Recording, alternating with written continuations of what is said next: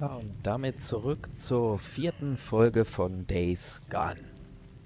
Dieses wird eine etwas andere Folge sein, ähm, weil ich nämlich festgestellt habe, bei der Postproduktion der letzten Folge, dass wir unseren ersten Fertigkeitspunkt erhalten haben.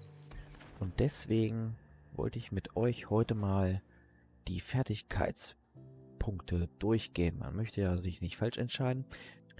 Wem das jetzt alles zu theoretisch ist, der kann oben rechts auf die nächste verlinkte Folge klicken. Da geht es dann mit der Story weiter. Hier werde ich mich nur mit den Fertigkeiten beschäftigen. Ja, Fertigkeitspunkte. Man sieht das hier oben. Wir sind gerade auf 12%, ähm, um die nächste Erfahrungsstufe oder Fertigkeitsstufe zu erreichen. Die erste Hürde haben wir genommen. Deswegen sind wir in Fertigkeitsstufe 2 und haben oben rechts zu sehen den ersten Fertigkeitspunkt erworben. Und äh, es ist auch weiterhin möglich natürlich Fertigkeitsstufen zu erklimmen und Fertigkeitspunkte zu erwerben. Ähm, ihr seht das, wir haben schon wieder 797 Erfahrungspunkte erreicht. Und wenn wir bei 6550 Erfahrungspunkten sind, somit also 100% bekommen haben, werden wir in die Fertigkeitsstufe 3 aufsteigen und einen weiteren Fertigkeitspunkt erwerben. Es bringt aber meiner Meinung nach nichts, Fertigkeitspunkte zu horten, sondern man sollte, wenn man sie denn erreicht hat, dann auch gleich verbraten. Man hat natürlich immer so ein bisschen Angst, dass man sie für etwas ausgibt und sich später ärgert, weil sie an einer anderen Stelle vielleicht besser benötigt worden wären. Ja, und deswegen habe ich mich damit ein wenig auseinandergesetzt und möchte euch heute einige Tipps dazu geben. Fertigkeiten kann man verteilen in drei verschiedene Bereiche. Einmal in den Nahkampf, einmal in den Fernkampf und einmal in Möglichkeiten des Überlebens. Überleben geht es hauptsächlich ja, um Ressourcen und äh, wir schauen uns das jetzt aber mal genauer an. Und wir starten mit dem Fernkampf ausnahmsweise. Fernkampf ist ja recht einleuchtend. Es geht hier ausschließlich um die, um die Waffen im Wesentlichen. Und äh, es gibt nämlich dort eine Fertigkeit, die ihr auf jeden Fall nehmen solltet und auch gleich zu Beginn. Ich würde auf jeden Fall meinen ersten Fertigkeitspunkt nehmen. Und zwar ist das die Möglichkeit konzentrierter Schuss. Und ähm, ich empfehle das nicht nur, sondern setze hier auch meinen ersten Fertigkeitspunkt ein. Konzentrierter Schuss gemeistert. Drücke LT beim Zielen, um die Konzentration zu aktivieren. Die Zeit für einen Moment wird für einen Moment verlangsamt, sodass du präzisere Schüsse abgeben kannst. Die Dauer der Konzentration kann durch Fertigkeitsverbesserungen und Nero-Injektoren, die in Nero-Kontrollpunkten gefunden werden können, verlängert werden. Das ist vielleicht etwas kompliziert geschrieben, deswegen zeige ich euch das gleich mal. Wir haben nämlich hier so einen nervigen Zombie, der versaut mir auch die ganze Tonaufnahme. Wir nehmen jetzt hier mal die Pistole. Gehen mal so ein bisschen näher ran.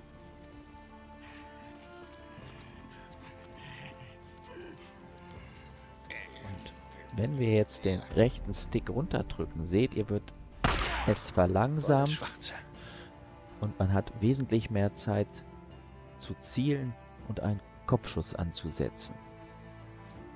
Wenn sich Gegner langsam bewegen, kriegt man das so auch ganz gut hin, aber wenn wir solche Situationen haben, dass Zombies hinter einem herrennen und man läuft rückwärts und kann hier diese Funktion ähm, auslösen, dann bewegen sich nämlich die Ziele in Zeitlupe auf euch zu und das ist ein sehr mächtiges Werkzeug. Und deswegen meine unbedingte Empfehlung, diese Fertigkeit als erstes zu verwenden. Ja, der erste Punkt ist Verbraten im Fernkampfmenü.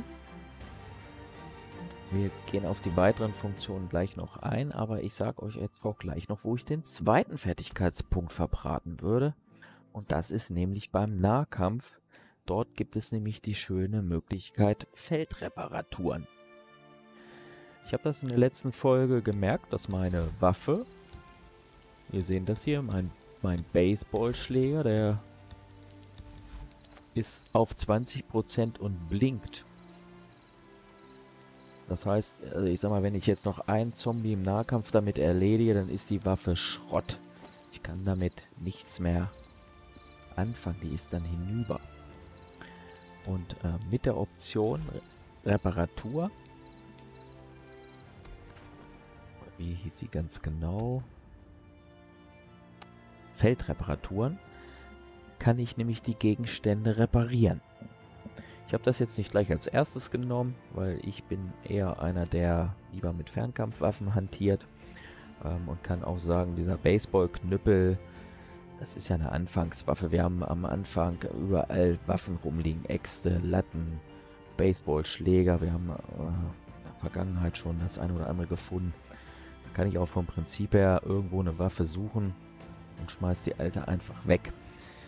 Aber im späteren Verlauf wird es möglich sein, Waffen herzustellen. Wir sehen das hier auch witzigerweise oben rechts in dem kleinen Bild. Ähm, da ist nämlich ein Baseballschläger und ein Sägeblatt zusammengesetzt. Und ähm, solche äh, Waffen, die man herstellen kann, die haben natürlich auch einen entsprechenden Wert, weil diese Gegenstände auch nicht in allzu großer Anzahl in der Umwelt zu finden sind. Lohnt es sich dann auch, Waffen zu reparieren. Ihr müsst für die Reparaturen Schrott einsetzen. Das steht ja hier, die Fähigkeit, Nahkampfwaffen mit Schrott zu reparieren. Das ist dann so ein bisschen die Kehrseite der Medaille. Ähm, aber wie gesagt, habt ihr erst einmal Rezepte gefunden, um wertigere Gegenstände herzustellen, dann lohnt sich auch eine Reparatur. Deswegen hier auf jeden Fall auch die Empfehlung für eine Feldreparatur. Ja, wie funktioniert das System dann weiter? Ähm, ihr seht ja, man hat immer drei Sachen zur Auswahl in jedem einzelnen, in jeder einzelnen Stufe und es gibt 1, 2, 3, 4, 5 verschiedene Stufen.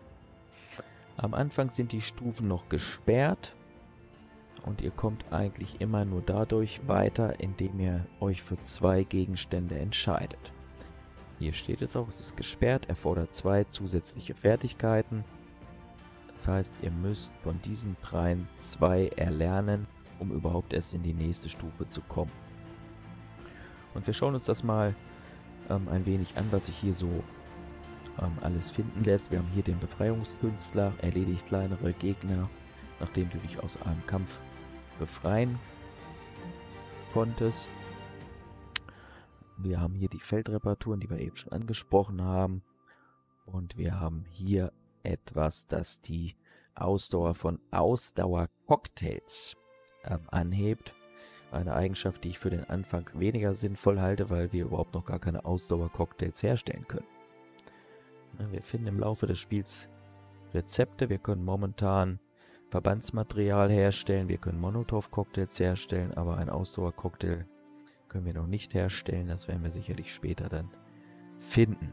Von daher eine Eigenschaft, die man nicht gleich zu Beginn lernen muss. Ähm, da ist der Befreiungskünstler dann schon interessanter. Wir sind ja schon vom ersten Zombie festgehalten worden. Und äh, wenn man dann die Möglichkeit hat, wenn ein so ein Zombie schnappt, ihn durch eine bestimmte Fähigkeit gleich zu erledigen, ist das natürlich hilfreich.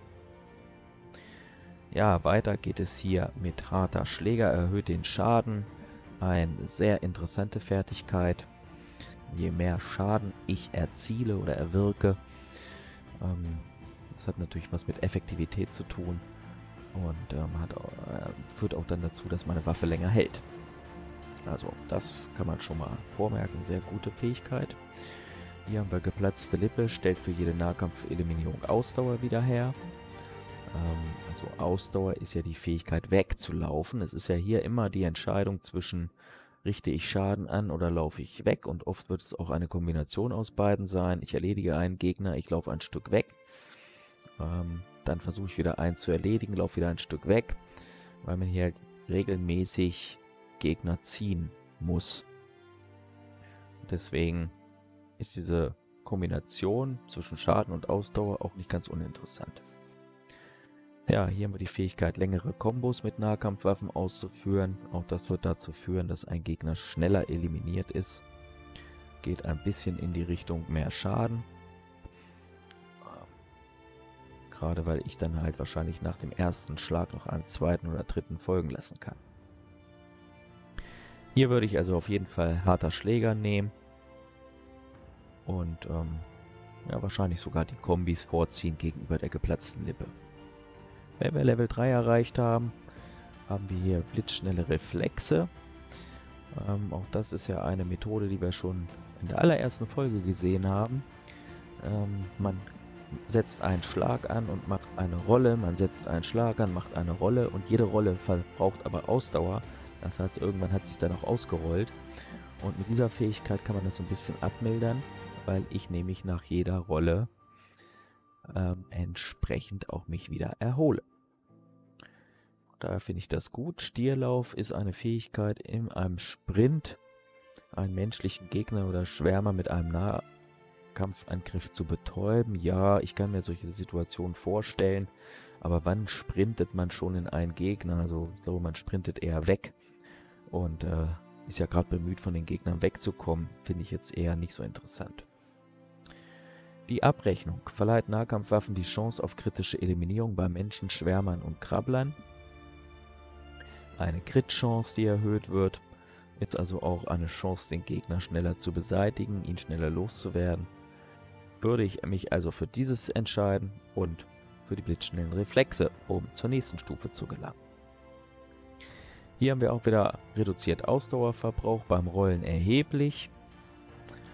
Ähm, erheblich. Das wird sich dann also spürbar verbessern. Rock'n'Roll, die Fähigkeit, schwächere Gegner durch Treffer mit einem Stein zu betäuben, finde ich ziemlich Banane. Also, wenn ich erst noch einen Gegner betäuben will, um den anderen dann zu töten, also, also keine Ahnung, kann ich kann mir da wenige Situationen vorstellen, wo ich das brauche. Home Run erhöht den Schaden, den du mit hergestellten und gefundenen Nahkampfwaffen verursachst, erheblich. Auch das ist natürlich Pool ein erheblicher Schadenszugewinn, hier eine erhebliche Ausdauer äh, Gewinn oder eine Reduzierung des Verbrauchs ist im Endeffekt das gleiche. Da würde ich also Home Run und von der Rolle nehmen. Ja, dann nochmal hier ähm, die letzte Ebene. Erhöht deine Chance auf kritische Treffer oder Eliminierung um 25%. Die ähm, Eigenschaft Rache. Und ähm, ja, 25% Crit-Chance ist schon ordentlich. Das wird man sicherlich dann hier und da auch merken. Stiefelmesser-Kombos richten doppelten Schaden an. Finde ich ziemlich sinnbefreit, weil ich glaube, wenn man erstmal hier oben bei dem Level angelangt ist, da ist man ja im Spiel auch schon weit fortgeschritten, hantiert man da noch mit dem Messer. Äh, es könnte höchstens zum Tragen kommen, wenn die Hauptwaffe kaputt ist. Aber man kann die auch zwischendurch dann reparieren. Also finde ich jetzt nicht so nice. Henker, die Fähigkeit, einen Tarnangriff auf schwere Freaker auszuführen. Ähm, oder große Tiere. Also das finde ich schon gut. Weil ich kann mir schon vorstellen, dass es dann... Wir sehen ja oben rechts so einen etwas schweren Gegner, die dann später wohl auf uns zukommen. Wenn man sich da anschleicht und den mit Messerkill sogar tot kriegt, kann ich mir vorstellen, ist das auch eine ganz schöne Funktion. Ja, ich blende euch hier einfach nochmal ein Bild ein, in dem ihr die Fähigkeiten seht, für die ich mich entscheiden würde auf dem Weg zur letzten Stufe. Ihr könnt natürlich individuell entscheiden, ähm, was ihr nehmt. Aber das wäre meine Empfehlung im Bereich Nahkampf. Ja, schauen wir uns den Fernkampf an. Konzentrierter Schuss haben wir schon ausgewählt. Wie gesagt, für mich ein absolutes Muss. Das erweitert ja auch die Spielfunktionalitäten. Ähm, es ist auch so, dass ihr, wir haben das ja hier gelesen, im Nero-Kontrollpunkt auch noch Injektoren findet. Ähm, die genau darauf abzielen, diese Zeit des konzentrierten Schusses zu verlängern. Ähm, von daher wird das noch im Verlauf des Spiels eine wichtige Rolle spielen. Ja, hier haben wir noch weitere Optionen im Level 1. Kampf und Flucht. Ziele in der Bewegung präziser mit einer Fernkampfwaffe Ähm, also wenn man sich bewegt, auch solche Situationen hatten wir jetzt tatsächlich schon ganz am Anfang des Spiels. Man läuft vor mehreren Zombies weg, läuft rückwärts, versucht die, die einem am nächsten sind, schon ähm, abzuschießen. Also das ist ja so genauso eine Situation. Man ist in einer Bewegung, will natürlich da möglichst präzise den Kopf treffen, weil sonst dauert es einfach zu lange und verbraucht so viel Munition. Tolle Eigenschaft, würde ich euch empfehlen. Teufelskreis. Die Fähigkeit, auf einem Nahkampfangriff einen Fernangriff folgen zu lassen und enormen Schaden zu verursachen, finde ich jetzt nicht so richtig brauchbar. Ähm, also wenn man aus einem Nahkampfangriff flieht und entfernt, dann muss man erst noch auf die Waffe wechseln. Also weiß ich nicht, ob man das so häufig anwendet. Sicherlich vom eigenen Spielstil ab. Finde ich nicht so gut. Level 2 im Bereich Fernkampf. Dauerfeuer. In Konzentration können Fernkampfwaffen schwächere Gegner eher aufhalten. Also wenn ihr die Konzentration aktiviert, diese Verlangsamung der Gegner, ähm, können Fernkampfwaffen schwächere Gegner eher aufhalten, wird also die Feuerkraft erhöhen. Ist ganz schön. Hier haben wir die Massenkontrolle. Reduziert die Abklingzeit von Konzentration. Ähm, das heißt, diese Fähigkeit, das ist ähnlich wie beim Ausdauerbalken, muss ich erst wieder aufladen, damit ihr sie erneut anwenden könnt. Auch das ist natürlich gut. Je schneller es sich auflädt, desto häufiger könnt ihr es benutzen. Und hier haben wir voll konzentriert, verbessert die sofortige Erholung und Wirkungsdauer eines Konzentrationscocktails. Würde ich jetzt hier als die schwächste Eigenschaft einstufen. Erstens, wir haben kein Rezept für einen Konzentrationscocktail. Zweitens, ja, so ein Cocktail, den wirft man sich wahrscheinlich vorher ein, wenn man eine anspruchsvolle Aufgabe vor sich hat. So wie ich mich kenne, vergesse ich regelmäßig diesen Cocktail überhaupt zu nehmen. Könnte mir vorstellen, wenn man später gegen die Horden, die es ja in dem Spiel ja auch geben wird, kämpft, dass man äh, dann so ein Konzentrationscocktail, dass der dann auch an Bedeutung gewinnt. Aber dann kann man es auch zu einem späteren Zeitpunkt noch aktivieren. Ja, Level 3. Ähm, unterwegs. Die Fähigkeit beim Sprinten eine Fernkampfwaffe nachzuladen. Das ist schon recht schön. Also wenn das sonst nicht geht, finde ich das schon ganz cool, weil man kann einen Abstand zu gewinnen. Man kann Abstand gewinnen zu Gegnern, die hinter einem herrennen, kann sich umdrehen und mit der aufgeladenen Fernkampfwaffe die, die an vorderster Front sind, kann man dann schon mal beseitigen. Eiserner Griff reduziert den Rückstoß von Fernkampfwaffen erheblich. Wenn es erheblich ist, dann wird es sicherlich auch die Präzision ähm, erhöhen. Also gerade bei Fernkampfwaffen, die dann Dauerfeuer ermöglichen, ist das sicherlich auch gut geeignet, Gegner schneller loszuwerden. Eingespannt erhöht den verursachten Schaden durch Armbrustbolzen erheblich. Ich finde die Waffe ja so schon relativ effektiv. Ähm, auch eher geeignet, sage ich mal, ja, um die ersten Gegner, sage ich mal so, abzuschießen. Aber das muss man dann beobachten, wie sich das auswirkt. Könnte ich mir auch vorstellen, dass das ganz schön ist. Ähm, es wird später ja sicherlich auf der Position Armbrust auch die Möglichkeit haben, ähm, eine Sniper zu setzen. Wenn man dann li natürlich lieber mit der Sniper agiert, ähm, dann hat man natürlich von dieser Funktion dann nichts mehr. Das ist dann eine Geschmacksfrage. Wenn man aber bei der Armbrust bleibt, ist das natürlich lohnenswert, das hier auszubauen. Ja, nächster Level, Level 4 im Bereich Fernkampf. Unter Druck, du verbrauchst keine Konzentration mehr, wenn du eine Fernkampfwaffe nachlädst. Ähm, Tja, keine Ahnung. Nachladen während der Konzentrationsphase. Ich glaube, man würde eher die Konzentrationsphase abbrechen, weglaufen, sich bewegen und dann die Waffe nachladen. Bin ich jetzt eher zu vernachlässigen. Schnelles Nachladen reduziert die Nachladezeit für Fernkampfwaffen, das ist immer gut. Denn Sekunden können hier entscheiden zwischen Leben und Tod, von daher eine gute Geschichte. Todesschuss erhöht die Präzision von Fernkampfwaffen.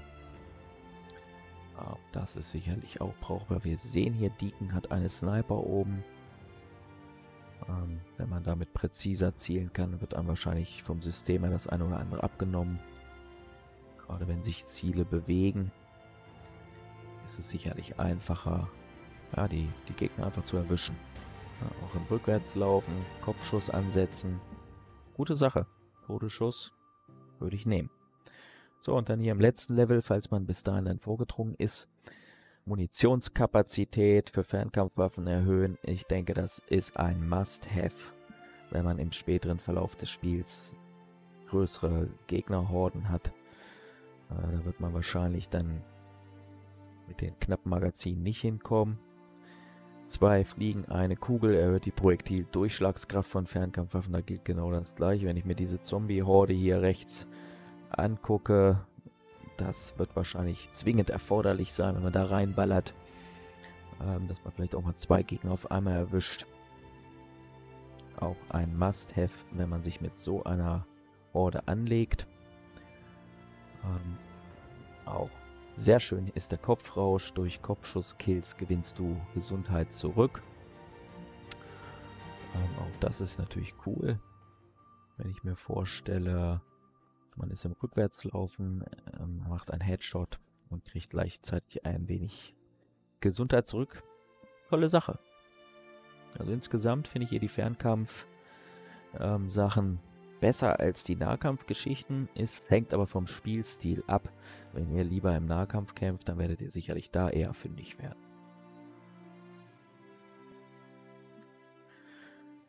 Tja, und hier in der Gesamtübersicht nochmal grün eingefärbt die Fertigkeiten, die ich euch im Bereich Fernkampf empfehlen würde.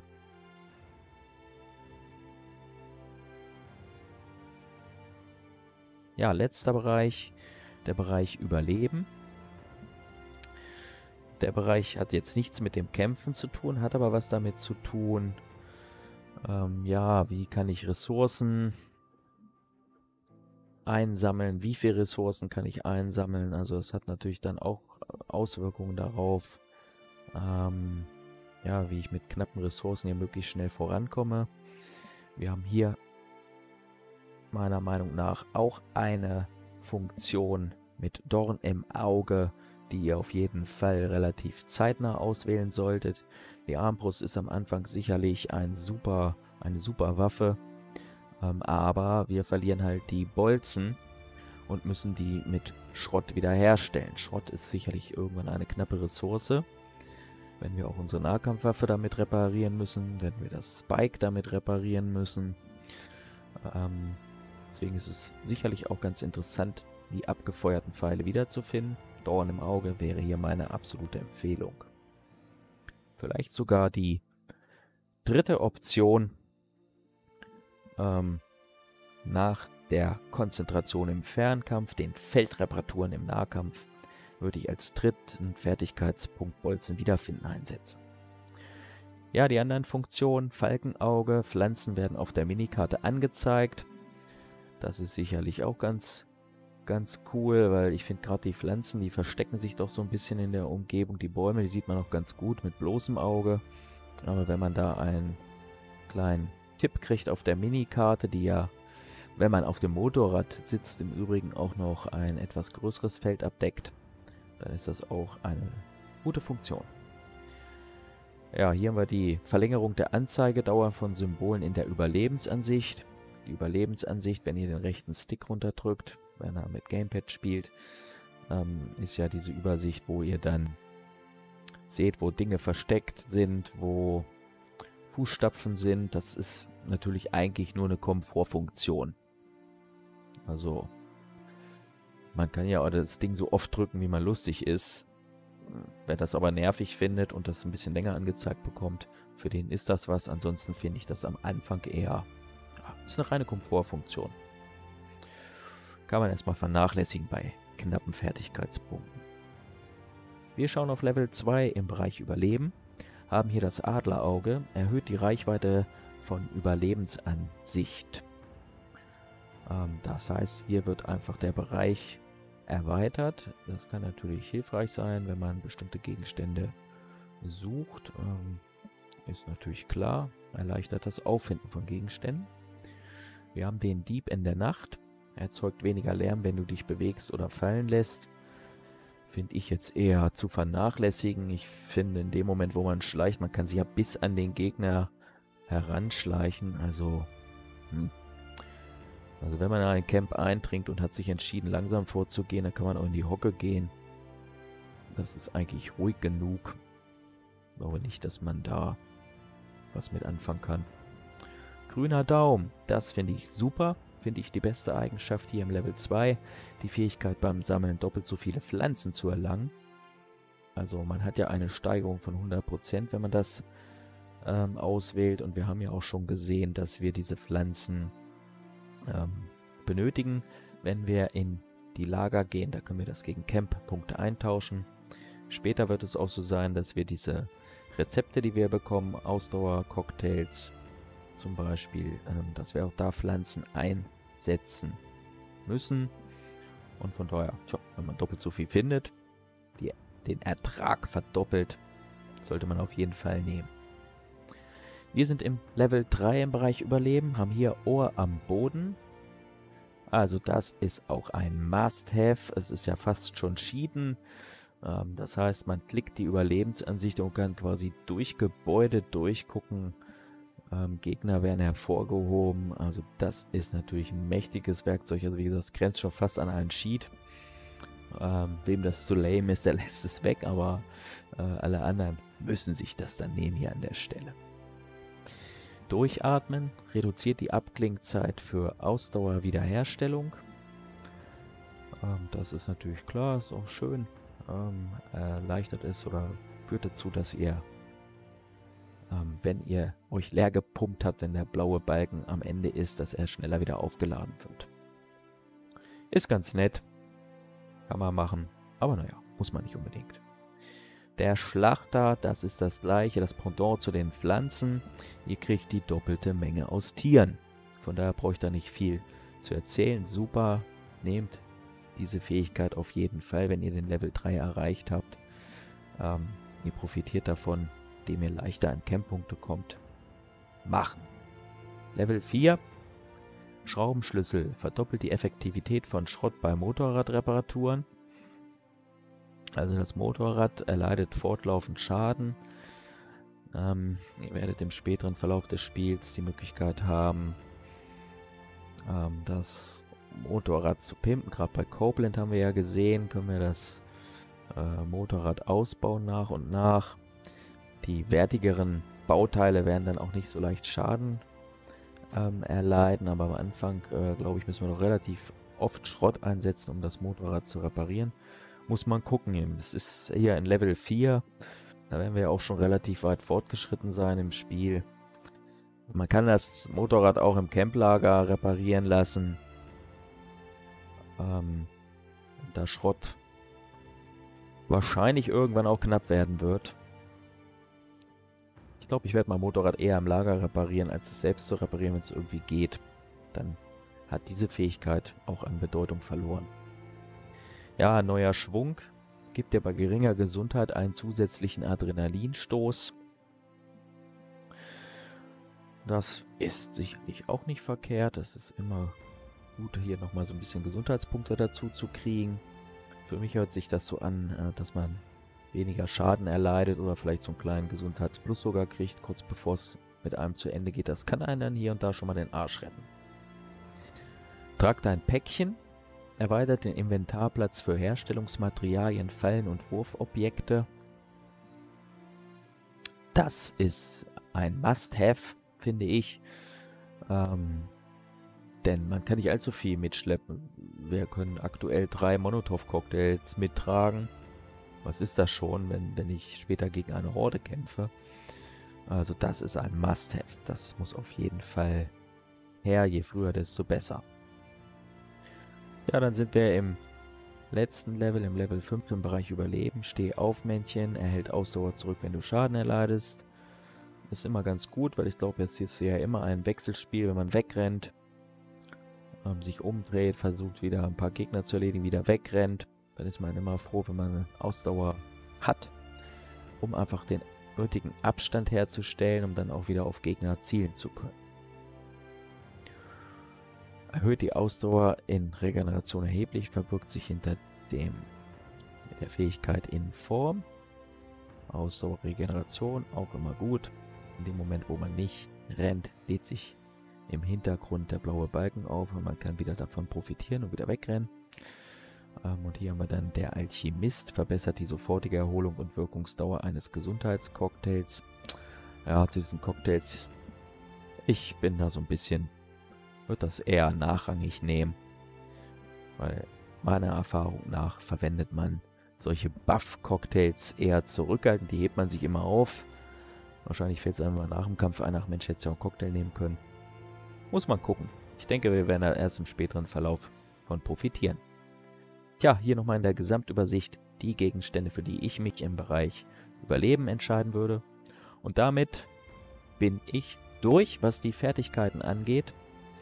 Ich hoffe, dass das ein bisschen hilfreich war, sich zu orientieren, um euch etwas Sicherheit zu geben, welche Fertigkeiten ihr für die Fertigkeitspunkte einsetzen solltet. Und ja, viel Spaß ähm, beim Sammeln von Fertigkeitspunkten und beim Leveln eures Charakters. Und damit bin ich durch mit diesem etwas anderen Erklärvideo, sag ich mal. Und wenn es euch gefallen hat, wenn es euch geholfen hat, dann lasst gerne einen Daumen da oder lasst einen Kommentar da.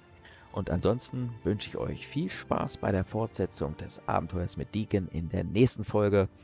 Und bis dahin, alles Gute, auf Wiedersehen, tschüss und ciao.